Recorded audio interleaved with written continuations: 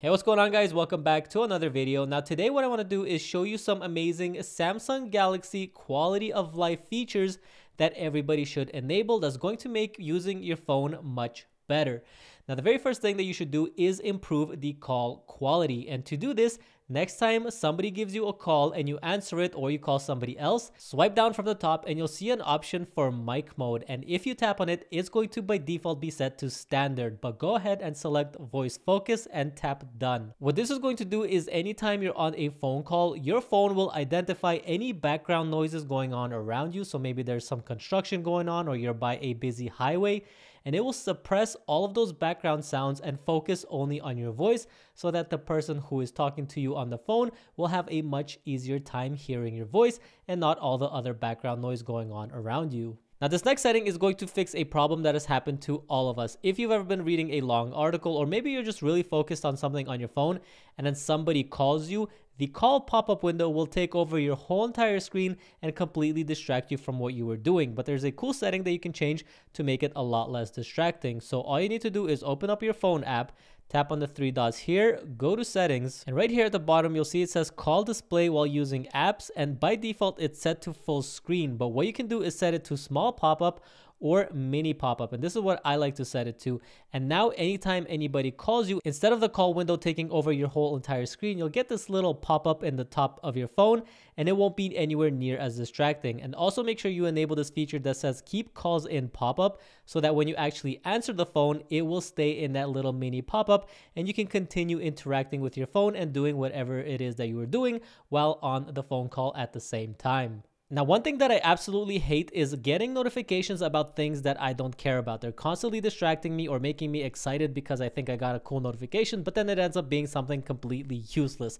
Well, there's an amazing Galaxy setting that can help you manage all of these notifications that you don't care about and only get notified about things that you do care about. And to enable this, what you want to do is go into your phone settings, swipe down to notifications, tap advanced settings, and right there at the bottom, you'll see manage notification categories for each app.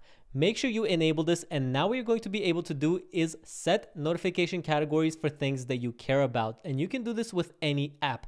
So let's use Instagram for example. If you long press on it and then hit this little eye icon up here, go to notifications, you'll see a new option here that says notification categories and in here you can see we have a tick box for every single notification category. And you can go through here and disable all the things you don't care about and only leave enabled the notifications that you care about like direct messages, requests, or video calls. And now you're only going to get notifications from Instagram about the things that you actually care about and nothing else. And you can do this for every single app on your phone, whether it's TikTok, Reddit, YouTube, Gmail, messages, whatever it is, you can manage the notification categories for those apps. And this is going to make your phone much less annoying. Now, if you've ever been reading a long article or maybe looking at a photo on your phone without interacting with your phone, one thing that you might notice that's a little bit annoying is your phone will dim and auto lock on you because you're not interacting with it and it's trying to save some battery life. So you can see my phone just locked itself.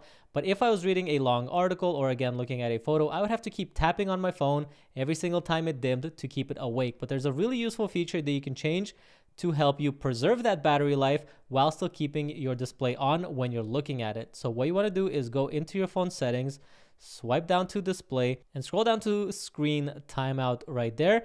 And down at the bottom, you'll see an option that says keep screen on while viewing. And this is disabled by default, but when you enable it, what's going to happen is your phone will now use the front facing selfie camera to see that you're actually looking at the phone and you are interacting with it and your phone will no longer dim and lock on you. And this is really useful if you want to keep your screen timeout nice and low so that you're not wasting battery when you're not using your phone but allow the phone to stay unlocked and not lock on you when you're actually looking at it. So this is definitely a really useful feature that you should enable if your phone keeps locking on you when you're using it. The next thing you should do is take advantage of these widgets that we have on our lock screen. And this can be very useful to take quick actions directly from your phone without having to unlock it. So we all know we can double tap on our phone to go into our camera mode, but maybe we want to start a specific camera mode like video or portrait or maybe anything from here like pro video. Well, you can quickly do that directly from those widgets on the lock screen. So if we go back to our lock screen, to edit our widgets or add any, just tap on our lock screen and then if it asks for a password, go ahead and authenticate. But now we can tap in this widget section and we can add this little camera widget. It will be under the cameras right there. It's called custom camera.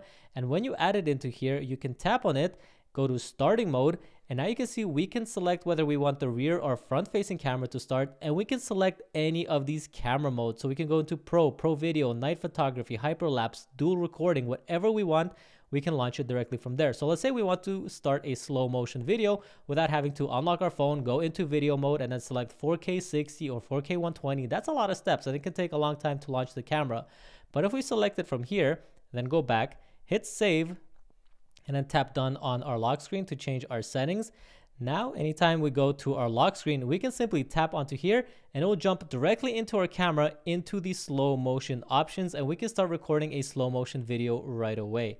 And this is again very useful just to give you quick access to things directly from your lock screen. You can see I also have this mic recording widget right here. And if I tap on it, it will start a recording directly from my lock screen. I don't even need to unlock my phone and I can manage it from the uh, now bar down here. So I can pause it and then restart it. And if I'm done with the recording, I can just tap right here and you can see it will save it directly to my phone. I absolutely love these widgets. It's definitely a great quality of life improvement just to be able to do some of these quick actions directly from your lock screen without ever even having to unlock your phone, go searching for these things and starting the application manually.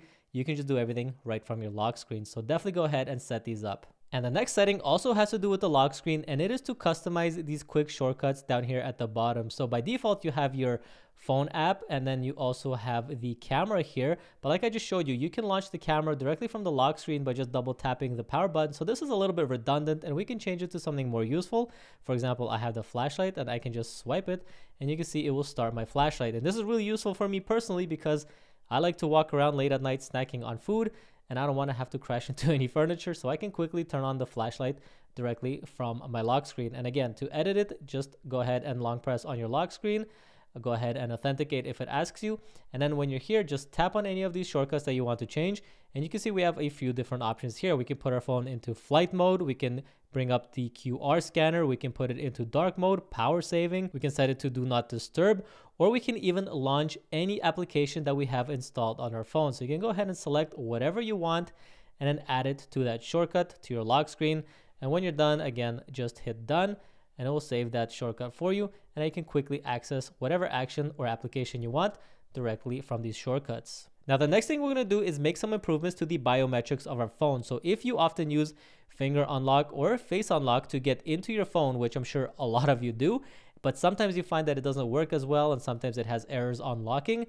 There's a few things that you can change to make them a little bit more reliable. And all you need to do is go into your phone settings, scroll down to security and privacy, go to screen lock and biometrics. And down here, you'll see face recognition and fingerprints. So let's do face recognition first. If you tap into here, you'll see an option for brighten screen. And when you enable this, it'll say increase screen brightness temporarily so that your face can be recognized in the dark. But do be careful with this. If you ever look at your phone in the middle of the night, you just wake up to glimpse over your phone and you pick it up. This will brighten up really bright and absolutely blind you at night.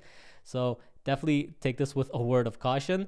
And next, if we go back and we go to fingerprints this time, you can see that we have a few fingerprint profiles here and you can add up to four or five fingerprint profiles. And what you can do is add your main fingerprint twice. So if you use your right thumb to unlock your phone, you can set two profiles with just your right thumb and your phone will have a lot more data to work with when unlocking the phone using your thumb. So it will have a lot less errors and be a lot more reliable. So definitely go ahead and set up two fingerprint profiles for your main finger. All right, guys, now the last quality of life improvement that I suggest everybody enable, and this is one that I absolutely love. And what it will do is anytime somebody calls you on your phone, your phone will announce the name of the caller, but also give you the ability to answer or reject the phone using your voice. So if you're washing dishes or you're gardening and you just can't get to your phone or you don't want to pick it up because your hands are dirty or busy, your phone will announce the name of the person calling you and you will know whether that's an important phone call or maybe it can wait and even give you the ability to answer or reject the call using using your voice so you don't ever have to even touch your phone